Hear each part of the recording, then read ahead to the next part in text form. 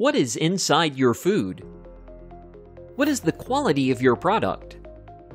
Your eyes provide only a limited amount of information. Since most chemical transitions are located in the infrared part of the electromagnetic spectrum, integrated photonics technology has enabled us to squeeze a full lab on a millimeter sized chip. The basic idea is simple reflected light is converted into electrical signals by an array of detectors, which, combined with advanced algorithms, provides information on the material under investigation. In the near future, you will be able to measure if your fruit is ripe directly on the tree, optimize the growing conditions in greenhouses, scan your cheese to adjust the blending process, or monitor your food before reaching the final store, and plenty of other applications.